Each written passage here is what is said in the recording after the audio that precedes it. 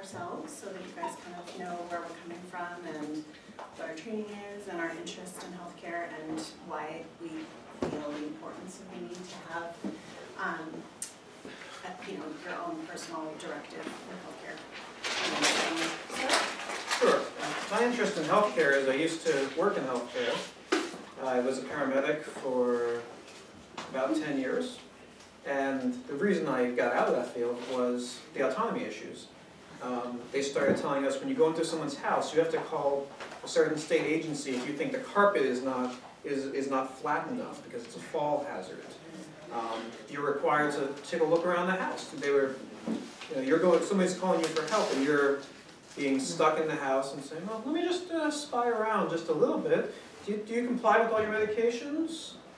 Um, as well as instances where I'm required to tell someone, well, yeah, you don't want to go to the hospital, but you're coming with me anyway.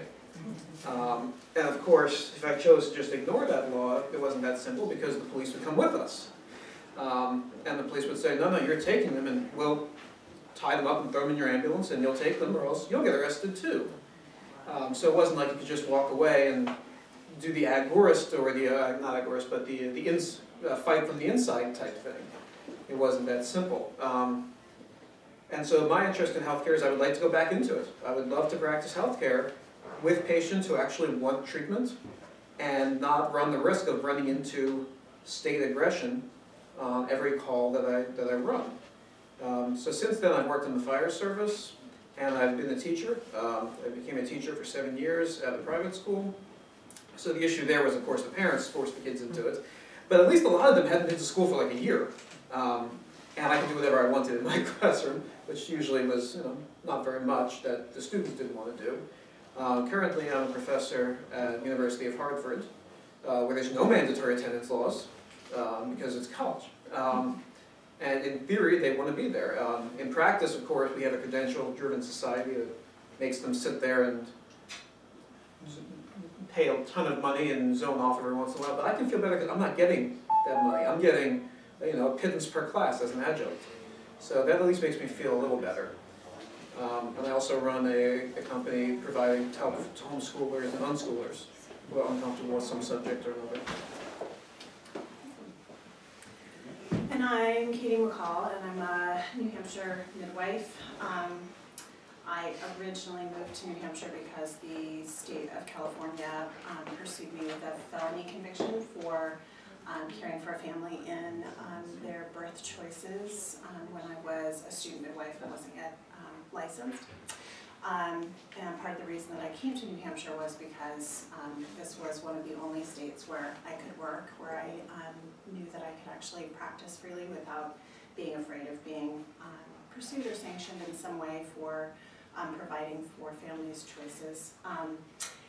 And uh, I also am part runner of Stone Farm, which is a bed and breakfast uh, here in New Hampshire. Um, and I work at a midwifery training school um, that teaches women who are um, wanting to go into, and men who are wanting to go into midwifery, we just haven't had a male applicant yet.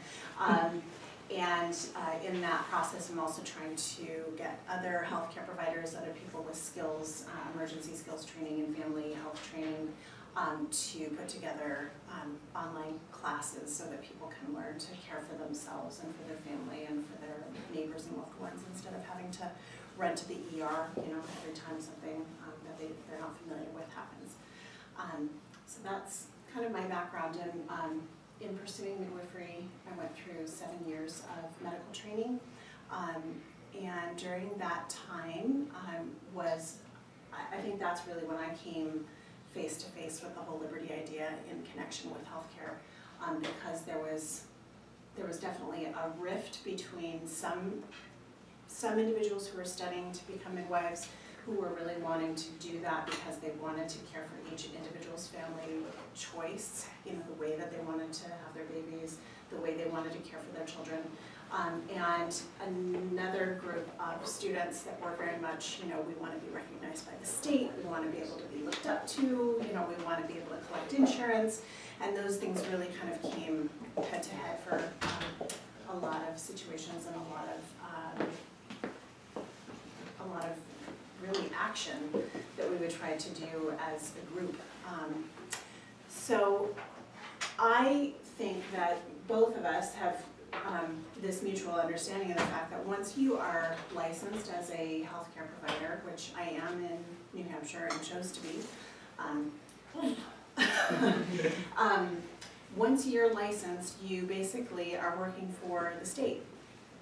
So you, if you have this um, understanding of uh, individuals' rights and autonomies to be able to like make the choices in their healthcare, um, you inevitably are gonna come up in a situation where, you know, the, the patient doesn't wanna go.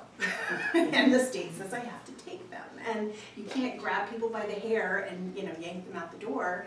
Um, and so that conflict comes up, and it's actually come up for me more in New Hampshire than it did in California, which was really strange for me after having lived here now for two years. Um, so, I, I think I'm speaking for you in saying that that's like one of the biggest issues, I think, that comes up for license providers.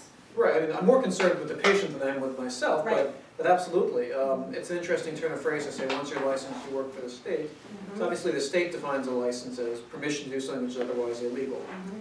But uh, the reality is, when you get that license, you open yourself up to a whole bunch of laws that now apply to you that didn't apply ten minutes before you got the license. And I, I kept my paramedic license, um, even though I'm not working. And the reality is, you know, now I'm a mandatory reporter on child abuse. And there's plenty of cases that are not actually abuse that I would go to jail for not reporting if I were to come across them. Luckily, I just, you know, don't see children very often, keep my eyes closed and such. Um, and of course, there are real instances of child abuse that, that don't get reported. Um, I, I can't say, you know, schools give too much detention and make kids read stuff and force them to do homework. I mean, we would count that as abuse. Um, and, and then if you don't go, your parents go to jail. Um, but, no- but that's an account of abuse. But yeah, you have all these additional uh, laws put on you. So yes, you have permission to do something otherwise illegal, which shouldn't be otherwise illegal. Um, and yet at the same time, you have um, you, you have the, the, you lose some of your legal standing. Um, you know, I go to a, to a naturopath as my primary care physician, and I believe they're licensed in 14 states. And I look and, you- and you- I see the same rift there. You know, in the states where they're not licensed, you see some people saying, "We need to get licensing in these states." Other people saying, "Why do you want to put yourself under the auspices of, of, of the law? Why don't, if you know what you're doing, why don't you just treat patients?" Um, you know, my father is an opt- optometrist, um, optometric physician now, and he's not allowed to use silver to treat eye infections um, because you have to use prescription antibiotics, which you know pharmaceuticals have trademarks on. Even though silver will kill gram-negative, gram-positive, it'll work, uh, but you can't use it. But homeopathic eye drops do contain silver, so he doesn't believe in homeopath in, in homeopathy. But he can suggest, I think you should try these homeopathic eye drops to somebody who, um, who has uh, an eye infection, but every time he does it, he risks losing his license if somebody figures out what he's doing. Whereas if he was in a non-licensed profession and just said, here, I bought these at the five and dime, try them, there's no legal liability, he, he's not in any privileged position. Uh, which I think is, is interesting, when the state gives you a privilege, it makes sense that what comes with it is the ability for them to take it away and to sanction you.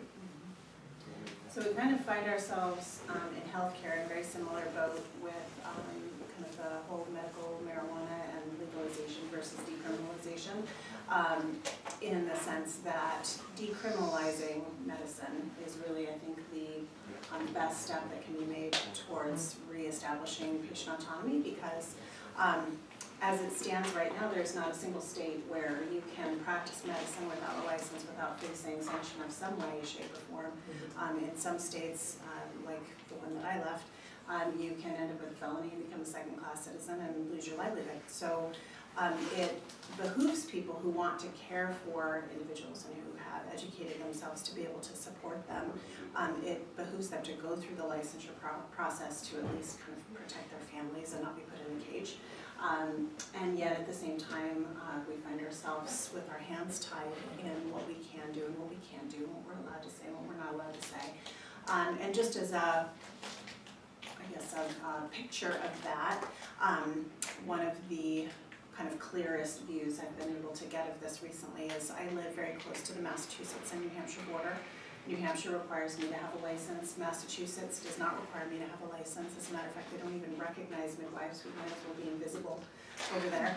Um, yet we are protected from being sanctioned as midwives because there was a case years ago where a nurse was, um, arrested and they tried to charge her with practicing medicine or uh, midwifery without a license because she didn't have any sort of licensing outside of her nursing. Um, and the court decided that midwifery actually wasn't medicine. So anytime a midwife works in Massachusetts, she's not practicing medicine. So there are lots of midwives in Massachusetts. And it's so backwards for me because I always hear, you know, oh, Taxachusetts, and you know, Massachusetts is so blah, blah, blah, and all these people from Massachusetts moving to New Hampshire, and um, yet for at least women's health care, it's very much the opposite. Um, so I have clients that I care for in Massachusetts, and I have clients that I care for in New Hampshire. And when I go to Massachusetts, I can pretty much care for any woman the way that she needs to be cared for, the way she wants to be cared for. It's completely voluntary, it's a total mutual exchange. Um, we can practice agorism, we can barter for stuff. Um, I can take on clients for free.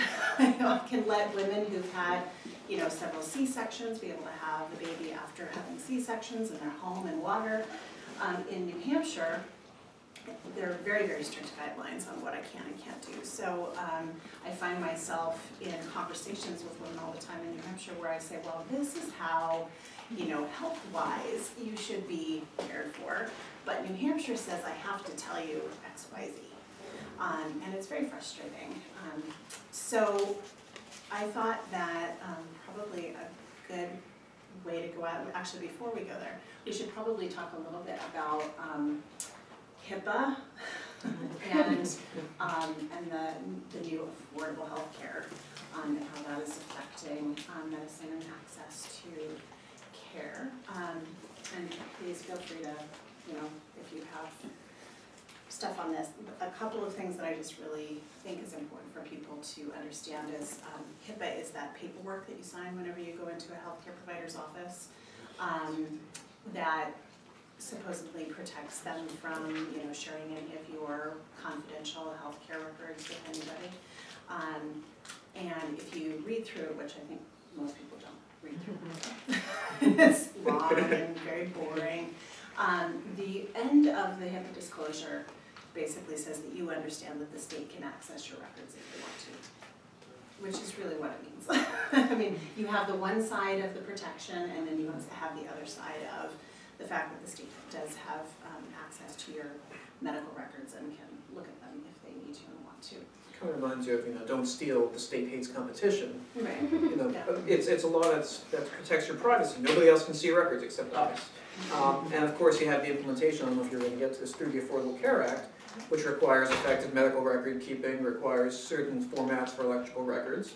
Makes it so much easier for the state to actually get at it, rather than having to say, hmm, we wanna look at this person's records, we wanna find everyone's record who owns a gun. And we wanna see, uh, what, what we can tie it to, or whatever we wanna do. Uh, we wanna find everyone who drinks raw milk and data mine for cases that could have been listeria, to build our case against, uh, raw milk. I live in the only state that has, um, that actually you can sell raw milk just in the store, um, perfectly legally without pretending to own a cow. you Um, Sell it in New Hampshire. Yeah. You can buy raw milk in the store. Really? Mhm. Buy it every week. Yep. Right here in, retail store. right, right here in Manchester. I live in one of two states. Yes. Hooray. Um, that allow, California, I know, had it for a while, a long time, and lost it, uh, rather recently. Um, Yay for New Still Hampshire. does the backflips of all the milk producers claiming that they're selling some crazy share of a cow, but you don't know that, you go and buy it retail, and it feels like you're buying milk, but somewhere behind the scenes contractually, they do their gymnastics. to There's, everything. yeah. That, that's New Hampshire, or California? New York. New York, okay, yeah. In Texas, I actually had to drive to the farm and, yeah, I could actually see my piece of the cow. Like that little hair there. We only had thirty people, so, I mean, literally, you had, you had a pretty big portion of the cow, actually, the cows are pretty big. We've been through the medical intake process a few times in the past few weeks for prenatal care, and we've read every single word of every single paper that's been put in front of us. And the HIPAA thing, it doesn't only say that the state, it, it's carefully worded to say not only that the state can access your records, but also that uh, accredited medical institutions undergoing research pursuant to blah, blah, blah, blah, blah also Yeah, they can. can share it with whoever they want. Yeah. And it's like, wow, so that's. Well, and it's, it's interesting, I think, um, for example, this is another thing with being, crossing the border all the time for the work that I do. Um, in Massachusetts, they've obviously had this, you know, everybody has health care thing going on for a while. So it's almost like you can see New Hampshire in the future.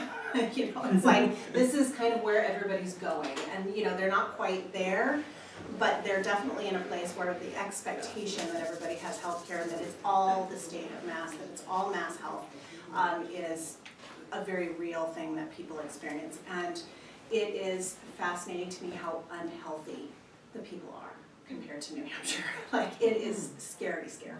Um, every person that I'm talking with is, you know, on, they've got a bag full of pills, and they're at the doctor's office twice a week, because it's free. And the doctor prescribes more pills, and then they end up in the emergency room because their pills are conflicting, and their pills are doing damage to their bodies. Um, and it's, it's really, honestly, incredibly frightening. Um, the amount of kind of lackadaisical, um, just the general lack of care for, um, patients' records in Massachusetts is also really startling to me because, um, well, everybody's on the same insurance and everybody works for the same agency that's providing all of the healthcare, so we can all share records. Um, and it's really, really startling compared to, you know, ten years ago when I was, um, working in California in a system that was, you know, not great, uh, but it definitely wasn't like that. Everything was pretty much paper-based. Everybody had to, um, file a medical records request and it had to be signed by the patient, so the patient knew was giving permission to be able to share those records. And then even if they were sharing the records, it was really just sharing it with that particular office. And then whatever that second office did, they couldn't just send it right back to the first office, they had to give the patient's permission again to send that new information to the old office. Um, so seeing this kind of back and forth, wide open, everybody's records, and you're right, the whole implementation of, um, electronic data keeping for medical records, um, is, is really a frightening thing. Um, I'm exempt from that, which is why I wouldn't think that much about it. Um, if you have a practice that's small enough, you can still do paper records. And I hate the idea of being like a birth with a mother who's laboring and having a big glowing screen, like it just seems really like anti-natural birth. Um, It, and it's Yeah. really anti-personal it healthcare also. yeah, You know, you're standing in the hallway with this computer typing, uh, what are you allergic to? And not, I mean, not to mention the fact you're shouting it down the hallway, um, and you're making your patients shout, I mean, and healthcare providers just, in general, because we're, we're trained by the state, we're licensed by the state, there, there is a general lack of concern about these issues. You know, you'll, you'll see at shift change, okay, so Mrs. Jones in room six who has the inflamed vagina, um, and, um, and it's like, you know, well, what about that HIPAA paper I, I signed? It says you can only tell that to, you know, the government, um, or, or a research institution. Um, and, you know, I'll see EMS providers pull out the laptop and, uh, this says we can treat you. No, it doesn't. Um, it's, you know, and ask them to sign it, you know. And I'll say, oh, because they haven't read the disclosure that they're asking the patient to read. They don't really know what it says, the patient doesn't know what it says. Oh, okay, when they sign it. Um, and what it says is all the provisions of HIPAA. Um, but they'll just tell the patient, yeah, this, uh, this says like you called us and we took you to the hospital or something. Um, and just shove it in someone's face. And that person is not exactly in a position of free agency when they're dependent on you. First of all, you're in their, they're in your vehicle. Um, you're sitting there with drugs that you can push into their bloodstream and so forth. Um, I wouldn't say it's a fair and equal relationship. But you, you touched on, on the Massachusetts, um, and the universal care there, which, uh, I forget which Democrat passed that. Um, I, I forget all He ran for president. Yeah. anyway, um, um, race. if, if- you know, I don't, I hardly ever go to a grocery store, because I go to the co-op instead, but I was in a grocery store a few weeks ago, I think I needed cat litter and the co-op was closed. And it was a fascinating moment, because you know, these little things you don't notice when you're doing something often, when you stop doing it, you notice. So I was walking down the aisle, and the aisle I was walking down happened to be the, the snack cakes and chips and all that stuff aisle. And at the end of it was the pharmacy. And I come, it was around Christmas time actually, and I come to the, uh, the pharmacy and there was a sale. And I really didn't understand, it was a sale on Simvastatin, which I don't really get. Like, why do you put it on sale? Everyone uses insurance anyway, and you ask the doctor for a month of prescription, but anyway, um, it was on sale, you know, for the, for the holiday season or something like this. And I was standing there, I looked at the sign, and I looked at the chips. This is like one-stop shopping, this is great. You come in here and get the subsidized agricultural products that the government pushes on you as they push out actual food. Um, and then you can come back to the same place and pay them again. I mean, isn't it great when, when, when people pay you for your mistakes? Just like the patient with the, with the pills that now caused a conflict, and they're back paying the same doctor again. It's, and they don't notice it because their insurance company pays each time. So we're transferring money back and forth, um, and it keeps coming to the people who are, are causing the problem in the first place. It, it's just fascinating to me. The, um, the other thing I think that goes along with this whole affordable healthcare implementation is the fact that, um, the providers who we've already established are required to be licensed, um, are now required to accept the insurance, because if everybody's on it, nobody's gonna wanna pay cash, because, well, I have this and it's free, so why would I pay cash? Um, and then because there are so many people being covered and being paid for, um, it drives the price of the care up. Um, so the, because that price goes, well, back up, the state only has so much money, it's covering all of these people, so they want to pay the providers less for each, you know, moment of care, every interaction, every lab that's being drawn, every visit that is happening, they wanna pay less for those. So in order for those providers to pay for the liability insurance that the state requires them to have, um, they now have to up what their total cost is to anybody who is not compliant with the insurance. Um, so a recent example, um, I did some blood work for somebody who was a cash paying, refused to be insured individual. Um, and I said, as I usually do, I will do your lab work, I will send it through on my cost. And, um, and then, you know, you'll get a cheaper cash, you know, uh, price. So I did, except that the lab that I used, their Dropbox was closed. So I ran across the street to the hospital, and they have their own Dropbox. It's one of these, you know, big labs. And I said, can you put my specimen in your Dropbox? And the lady in the lab said, sure, and she grabbed it, and I assumed it was going in the Dropbox, going to the exact same place, I just didn't have to drive back tomorrow. Um, so the patient eventually got the results, got their bill, and the bill for the, the initial lab that was supposed to be seventy dollars my cost ended up being four hundred and they're like, four hundred? What possibly could have happened? So I called the lab, found out that the lab that I had submitted, whoever was in the hospital that day who took my bag, took the specimen out, took out my requisition and wrote their own, as if they had drawn the lab, they had done all of the work, and submitted it and upped the cost.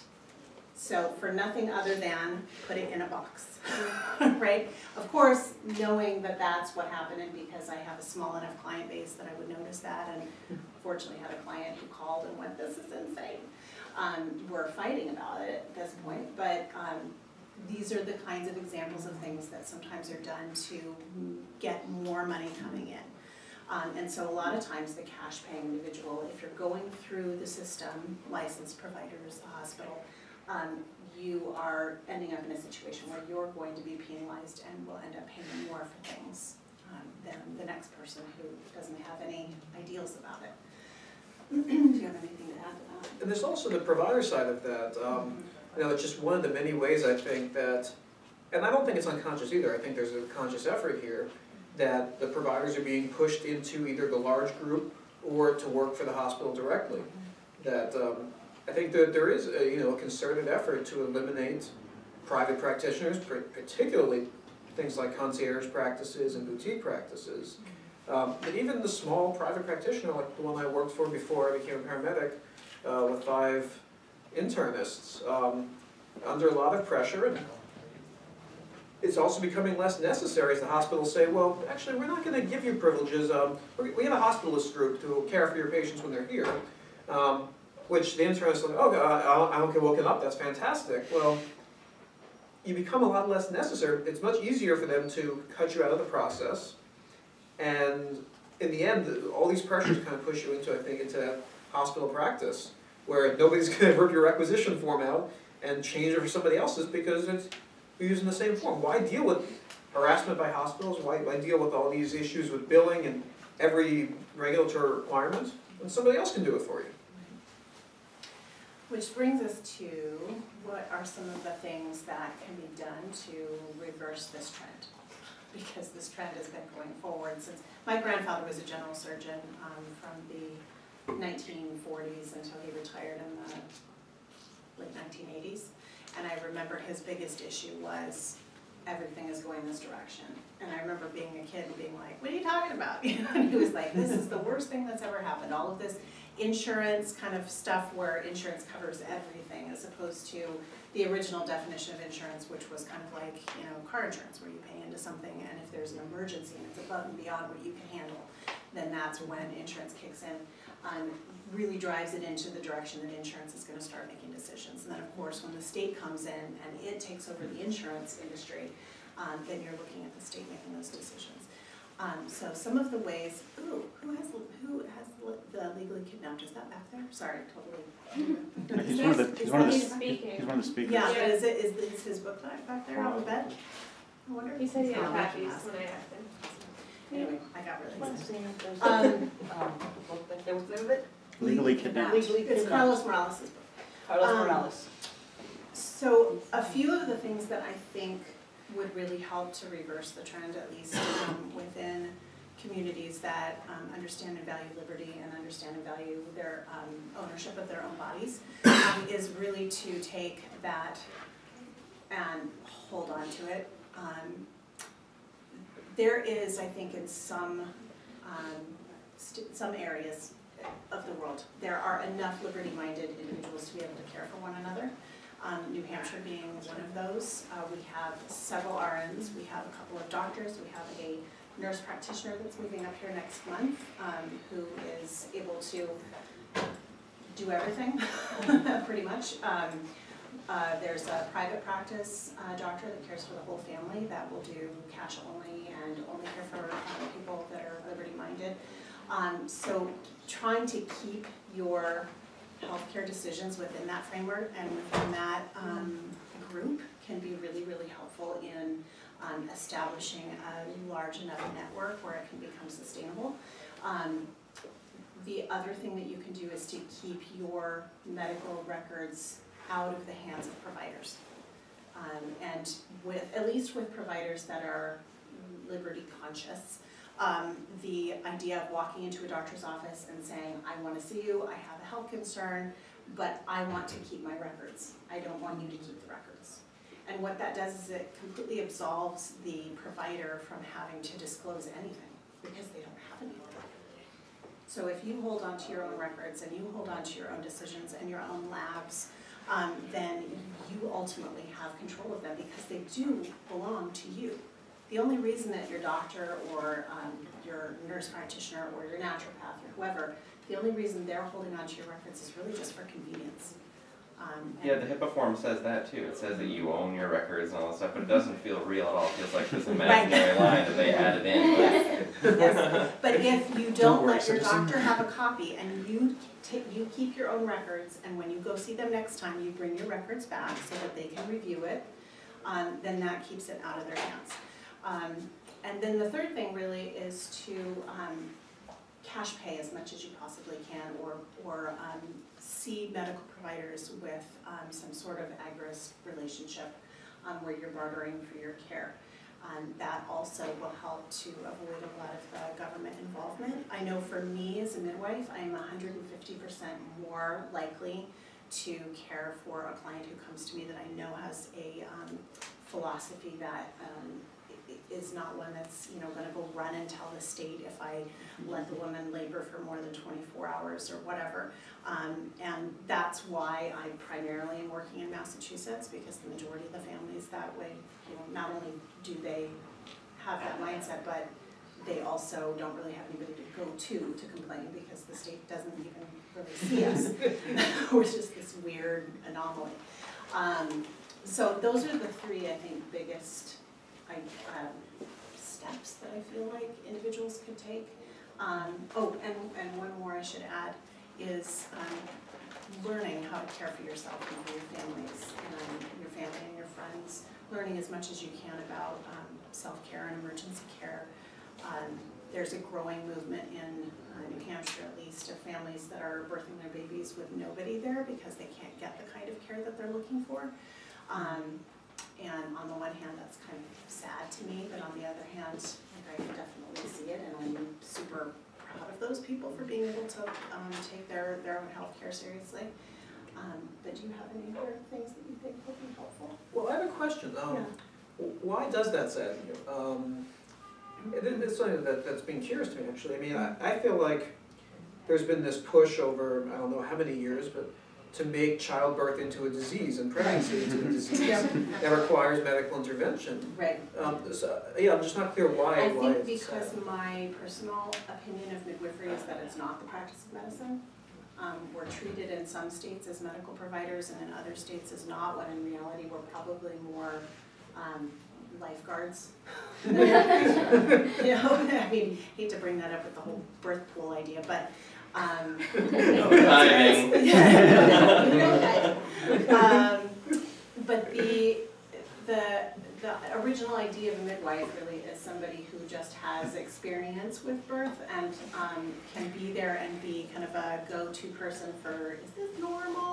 You know, and just general support and can you make me some tea, you know, kind of, help, help us clean up, cause we're exhausted, you know, like that kind of stuff is much more what a midwife does, um, being able to recognize when things are not normal as opposed to really treating what's abnormal. Yeah, I, I have a friend, a good friend who's a midwife, and she says, yeah, it's women have been giving birth for you know thousands and thousands of years. No one really has to, you know, push. Okay, what else would I do? Right, right, right. Um, so I'm, It's doing it for me. I'm curious, because I, I, and granted, you know, I'm in a, I live, I live here in New Hampshire, so and my encounter, my demographic's not normal by any means, but people, why, why do people like not care? I mean, we all, personal autonomy is like a really central core value to most of us.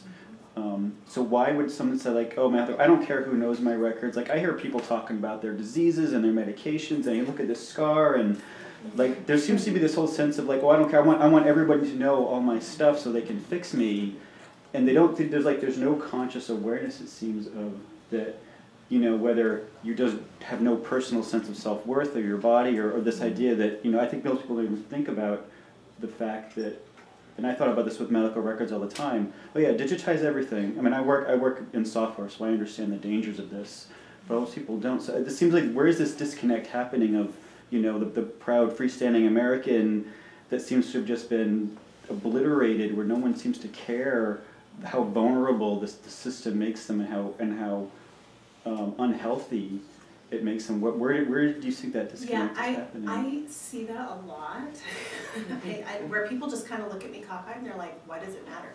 Um, and I think it's because, I actually was Jen, I was actually talking to Jen Coffee recently, and, um, she Jen. said, no, no, we're She's a a mutual friend of mine, friend, she's a yes. Um, but we, she was talking about the one percent, not in the sense of like the ninety-nine, you know, but, um, whenever you're gonna have surgery, for example, somebody always says to you, now there's a one percent chance, blah, blah, blah, or a 0.5 percent, you know, whatever, um, chance. And, and most people just kind of go, oh, well, that's not me, right? So it's not until you become that one percent where you get hit as that minority person who suffers, that you start to think, wait, where else am I vulnerable? Because th- these things can really happen. Um, and I think that at this point, I mean, things are definitely changing, but at this point, I think there's still a majority of people that are like, oh, don't be so dramatic. you know, the state's not gonna do any, what do you think the state's gonna do? Um, I mean, my, my daughter just, um, a couple of days ago, came home from school, um, visibly shaken, she's fourteen, visibly shaken, to the point where I was like, do you need more warm clothes, what's your problem? Like, she was shaking like a leaf and on the verge of tears, and she told me that at school, and that's another long story, why my daughter is even at school. Um, at school, the, she was randomly selected to take a test and was taken into another room with a bunch of her friends, and there were people standing around that she didn't recognize, they weren't people who worked at the school, they weren't her teachers, and she was given a test where the first two parts of it were, um, you know, was fill in the bubbles, you know, stupid standardized stuff. First two parts of the test were like reading comprehension, but then part three and part four were questions about, does your family have a washer and a dryer? What is your parents' level of education? How many firearms do you have in your house? Um, all of these really personal questions, totally, some of them were, were like random, like what kind of color clothing do you like to wear? But it was, she said it was like they mixed in things that felt really benign with things that were really personal. Um, and she said, and I didn't answer any of those questions. And I was like, good for you. And then she said, but all my friends did. And she was terrified for them. And she's mm-hmm. like, after the test, she was like, do you realize that they, that, I mean, that's personal information about your family and they could give that to who knows who. And so most of her friends were looking at her like, oh, come on, it's just a stupid test. You know, the government wouldn't do anything with it. and so I think that disconnect really does happen on a lot of levels, not just with healthcare, but just across the mm-hmm. board. And I think with time, as we start to hear more stories about how the state is, But you know, the randomly. stories are out there now. Yeah, I mean, I know like, I know like the, the gun rights community is very aware of this. Um, Mhm. I think, 'cause the- but they've always sort of been like for healthcare, you know, uh, it- it's, I don't, with, you know, like, oh, the big, you know, the health insurance company getting all those records stolen, so people like know they're vulnerable. Yeah, But is it just because health, because there's this whole meme about healthcare is not a product, it's a right, it's, they're trying to completely reframe how people think of there's that. two layers of God complex above you with healthcare. When it, when you, when it, when you're talking about gun rights, it's like, you're, you've got your gun rights, hi, oh, look at this sweetie. Um, you have gun rights and then you have the state above that, right? When you're talking about healthcare, it's my doctor and then the state. So there's like two levels of people who were looking out for me, I think, um, is the way people view it. So you have to really be, in, in order to have somebody who really listens to a fear about medical records being shared, you have to be talking to somebody who not only questions the state, but also questions their doctor's intentions. And the, the narrative is sketched in such a way that ostensibly your doctor like doesn't even really like the state and is sort of on your side against the, you know, Right. there's this narrative that's sketched such that the the, the, the state is here to protect you from the predatory doctor and the doctor is here to look after you despite the regulations of the state when obviously really it's sort of a kind of you know show for your benefit you know it's Bad cop, good cop type right scenario. yeah yeah I think that um, I I have a more pessimistic view on, on this. Um, but I, I really don't think that it's all that unique to healthcare or mysterious. It's just that um, when I deal with a gun rights person, for example, they understand the dangers of registration of guns. Um, but I can't always trust that same exact crowd. Um, having done free aid a lot of um, CCDL, Connecticut uh, Citizens for Defense League um, organiz- uh, events, I can't trust them to not also be in favor of war. Um, there's there's these, this single issue effect where you don't get spillover of one liberty position into another. Um, you know, we, we have a huge motorcycle lobby against helmet laws, but it's a lot of the same people who are riding their motorcycles in parades to cheer on the veterans and yay soldiers and war. Um, I think the and the reason I'm a pessimist on this is that I don't think human society could have evolved to the point that we're at without just this very ingrained behavior of trust. That our default position is trust and faith in the intentions of the people we, we're dealing with. And that will always be our default position, unfortunately. Um, and that would be great if there weren't these bad actors out there. Um, or if there were just a few of them and you could recognize them. The problem is the bad actors are not only, it's not that they're numerous, it's that they're in positions that we give legitimacy to. Um, people give this magical legitimacy to the state and to their healthcare provider. Um, and healthcare providers love it, um, and the state loves it. I mean, who, who doesn't like this feeling of, of godness, uh, so to speak? Right, so I'm overgeneralizing. But I've dealt with too many providers who, you know, don't, don't think like us, or never even question it. I mean, medical training is devoted in large part to training you to be a god. I mean, what are you learning when you're called doctor in your second year of medical school? Oh, it's just in front of the patients. Oh, so it's like in a lot of patients, right? As long as it's in their best interest? Ah, I see. Because they would feel weird if you weren't, if they knew you weren't a doctor, so we'll just lie to them. That- That's cool. Um, and I- I don't see that going away, and the reason I think you get these single issue groups is they've been hit or they have noticed and woken up in one area. But it doesn't spill over because that's still our default position. And if it weren't, we wouldn't be fully human. But if it is, I think you have to change the institutions around you. I don't think you can rely on people losing their faith in those institutions. What time is it, do you know what time? It is. Twelve forty-five. Twelve forty-five. Okay, does anybody have questions? So do you think the opposition to the ACA might help? Well, I mean, was the Grant, how- last speaker, the one who was talking about trying to stop a train as an individual? But I'm saying, i- is, is the, op- but if people have this natural opposition, they think, oh, I don't want the government running my healthcare, is that the opening to say, yeah, and here's some more reasons why the system they've got, which they're just perpetuating? I mean, is it, is it, is it even worth the fight? Is it? I'm gonna put a Yeah, pessimist I, line I, I again. take it outside of the norm route, I think, in that I'm, I'm not, I don't use insurance for anything in my own family's healthcare. Um, and I, I kind of, I, I don't know if it's, you know, um, naive of me, but I kind of feel like they're gonna do whatever they're gonna do because they really are. And maybe I'm, I'm pessimistic from my experience in California and, um, you know, how the state honestly like will consume things, and it just does. Um, and I think that a lot of the change comes from individuals making individual decisions to live outside of that.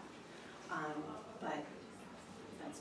I I think when, when you look at a movement like, you know, we're, we're opposed to the ACA, um, it helps to, to break it up into subgroups and say, okay, what are the different motivations that go into this opposition? And how much of it is, it's not the way I grew up. Um, it's the same way I, you know, I'm in education with with Common Core. There's a lot of criticism of Common Core, and, you know, I, I'm, I've, I've, I hate Common Core, you know, it was one of the really push, things that pushed me out of high school was being told, well, you know, the Common Core thing is happening, we really should get in line with it. Okay, well, I'm out of here, I'm not gonna run this department anymore. Um, and yet there's a lot of bad arguments made about it too. The, the most popular argument against Common Core seems to be, that's not how I learned math, and I turned out just fine. Well, it, and, and the same person who says that also complains when the cashier at the grocery store doesn't know how to count back change or can't use the three cents you just handed them. Well, there is a reason that Common Core included counting back by tens. That's what you're complaining about with the change, that they can't go up to ten and come back down.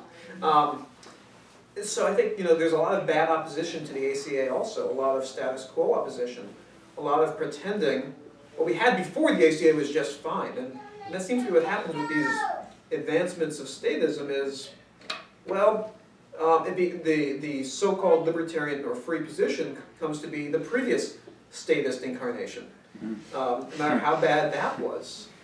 And yeah, but you got so many people lining up, whoa, whoa, whoa, we don't want government in charge of our health care. Let's go back to when the insurance companies were running it more directly. And the really good thing to the, you know, full steam ahead of affordable health care is that it's not a sustainable way of doing healthcare. So it will eventually collapse, um, even if it doesn't fully collapse, collapse, like I said, just look, just going across the border into Massachusetts and seeing the state of things there. I get way more calls to Massachusetts, even though none of their insurance covers anything that I do. The people there are more than willing to pay cash to be able to get good care than to get substandard care that they get quote unquote for free.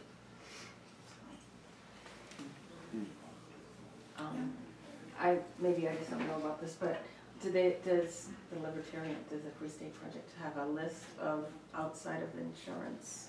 Healthcare Carriers. providers? I Um, mean, that we can, like, I know someone in northern Massachusetts, an excellent, unbelievable chiropractor slash Uh-huh. craniosacral. great, Doesn't take insurance. and- It would be really neat if we put something together like that. Um, free aid is basically kind of the place a lot of people go to to say, is there somebody, you know, around?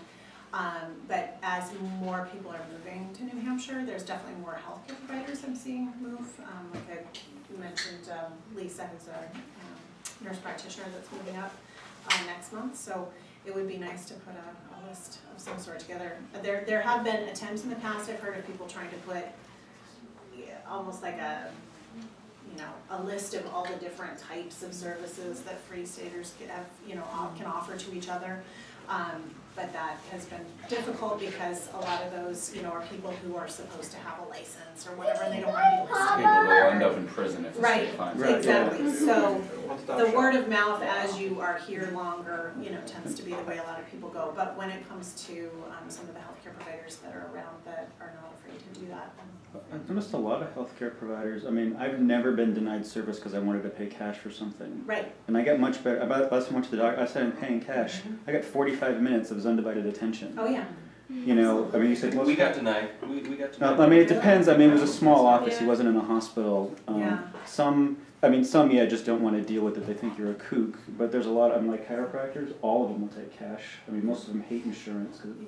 it drives the price up so much. So I think if, I mean, maybe you just have to be out there, you have to be the actor, you have to say, hey, can I just pay cash for this? And can cause if you're no, if no one's asking them, Mhm. and maybe there's, there's an awareness issue. And, and shop around, sometimes the places that will deny you for paying cash are typically in-network insurance providers, so they're required to see a certain number of patients every Mm. So they get, you know, four minutes per patient, it's like boom, boom, boom, boom, get through them, and, you know, and then the insurance basically pays their bills. Um, when you're an out-of-network provider, which is what I am, then people can choose to try to apply their insurance, and their insurance will pay a percentage, and they pay some of it in cash, and it's a huge headache for the out-of-network person, because then they have to go and bill it, like I just did a birth in, uh, November, I still haven't been paid for the first prenatal, you know, um, so there's definitely an incentive for them to just get the cash up front, so that they don't have to go through their biller, and pay their biller, and do all the waiting, and so, um, shopping around and looking for that is, is a good option. Anybody have any other questions? Okay, awesome. You have anything else you wanna add? I think we've touched on just about excellent job. Right. Thank you so much. Yeah, thank you. Thank you.